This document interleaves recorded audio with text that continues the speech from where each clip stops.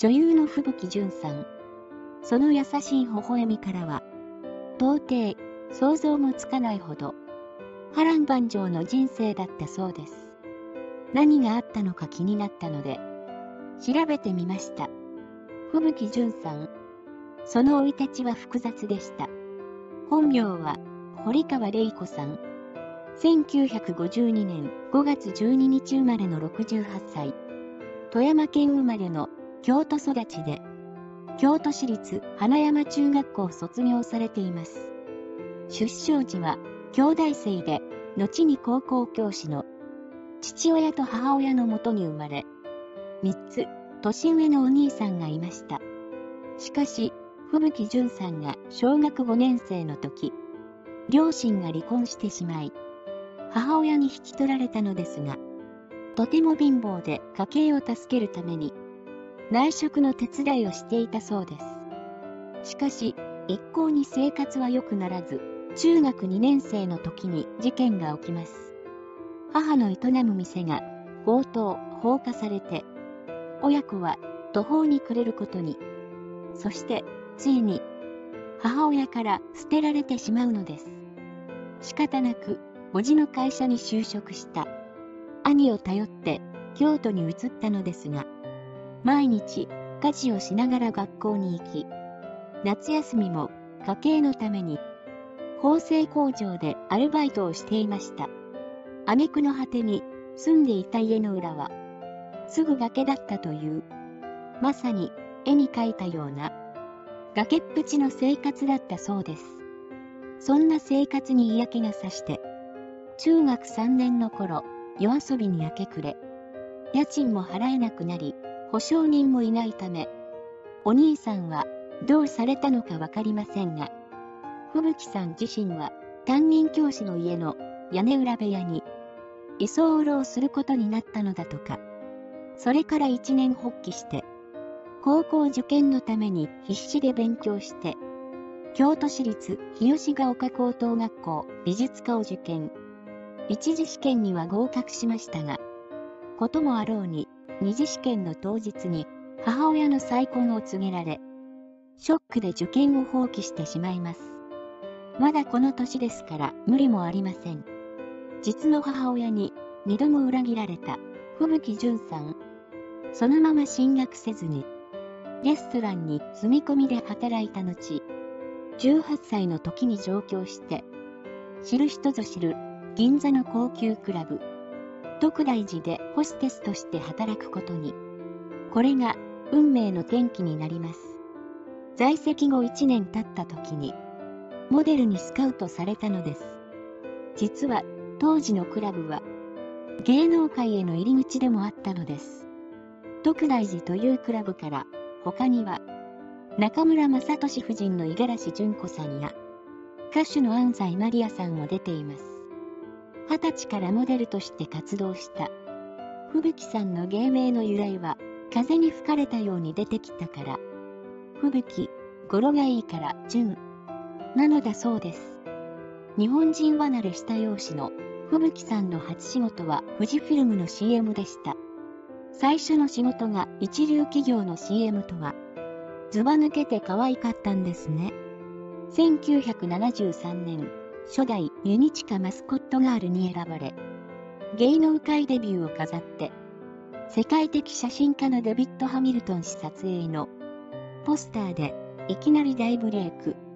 1年後、21歳の時に18歳と偽って、デビュー曲、愛が始まる時を歌うと、これまた22万枚の大ヒットとなり、さらに人気に拍車がかかります。ですが、本人は歌うことは好きではなく、辞めることも覚悟で、翌年から女優に専念することにしたのです。そのきっかけとなったのは、最後に出した曲の23歳だったのです。大ヒットドラマ、寺内勘太郎一家通の挿入歌になったことが縁で、キキキリンさんと出会い、演出家と脚本家に、なんか面白い子がいるよ、紹介されたことで、本格的に女優として歩むことになります。こうして見てくると、順調にステップアップしたように聞こえますが、決してそうではなく、これには裏事情があったのです。この頃、吹雪淳さんは、ある事件に巻き込まれてしまいます。ある日、放送局から出たところを、何者かに誘拐され拉致されるという、世間にも大きな衝撃を与えたこの事件。しかも、歌手になってから、わずか4ヶ月後のことでしたから、なおさらです。なぜ、こんなことが起きたのかというと、要するに、吹雪さんが給料に不満を持っていたところに、次々に他の事務所から好条件を出されて、吹雪さんも次々に契約したため、事務所間でのいざこざが発生。そのうちの一つの事務所が、吹雪さんをホテルに監禁して、蹴りをつけようとしたのですが、警察に通報され、捜査員50人とパトカー20台が出動する大騒動になってしまったわけです。翌日の記者会見で吹雪さんは、無理やり契約書に母印を押さされた、と脅迫されたことを強調しましたが、後日、どの契約も強制ではなく、吹雪さん自身が納得した上での多重契約によるトラブルだったことが、公にされてしまったのです。たちまち週刊誌のターゲットになり、いろいろな過去の暴露話が出て、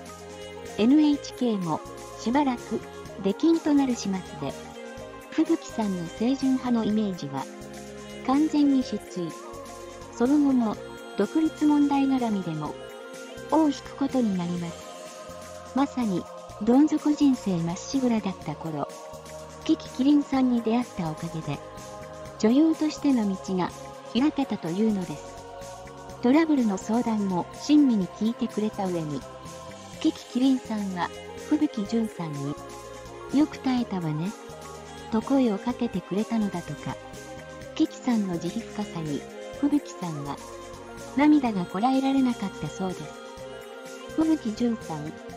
女優としての活躍は、1975年ドラマ、寺内貫太郎一家通をはじめ、1976年ドラマ、前略、おふくろ様2では、証券との共演が話題となり、1979年、29歳の時、映画、よみがえる勤労で、松田優作さん相手の体を張った演技が話題となり、大人の女優として覚醒して、見事に復活を遂げるのです。その後も多くの作品に出演し、1992年、映画無能の人で、ついに、日本アカデミー賞優秀助演女優賞受賞。やっと、本物の女優として認められたのです。ところで、私生活はどうだったのでしょうか。1981年、29歳の時、2年間の同棲生活を終えて結婚。そのお相手とは、音楽プロデューサーの川添蔵郎さん。どんな人かというと、かつては YMO やユーミンなどをプロデュースしたり、青山テルマさんのそばにいるねをプロデュースした日本の音楽業界に名を刻む大物です。しかも父親は有名人御用達の有名レストランキャンティ創業者で、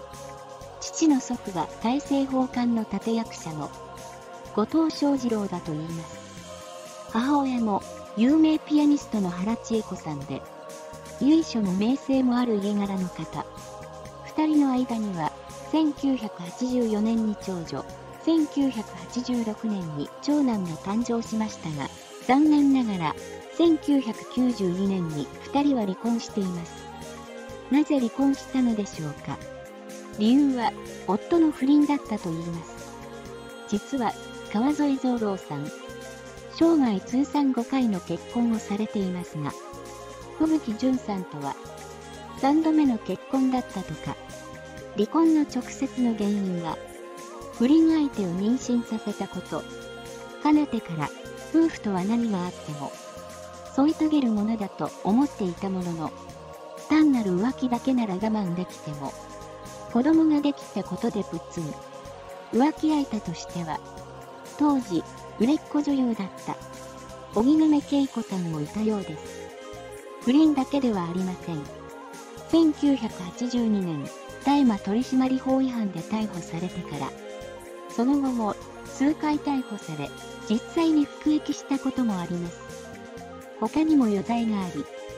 最後は2014年に捕まってます。とにかく、常識ではありえない人物。吹雪さん、これだけ裏切られ続けるとは、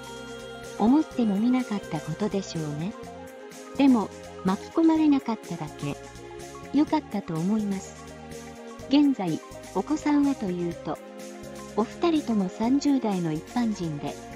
すでにお子さんもいらっしゃるとか、吹雪さん、お孫さんにデレデレがとか、吹雪純さんの最近の恋愛事情は、2014年に年下実業家との交際を報道されています。同居はしていないようですが、いい関係を続けているようです。吹雪純さん、人生の酸いも甘いも存分に味わったからこそ、今の幸せがあるのかもしれませんね。かがでしたか？吹雪純さん。五十数年ぶりに生き別れになっていた父と会うことができたのだとか、いろんな裏切りや試練も乗り越えてのジップとの再会は、吹雪さんはどんな風に感じたのでしょうか？しかし、その反省は、ドラマよりも波乱万丈なものでした。これからは幸せになってもらいたいものです。それではまた次回お会いしましょう。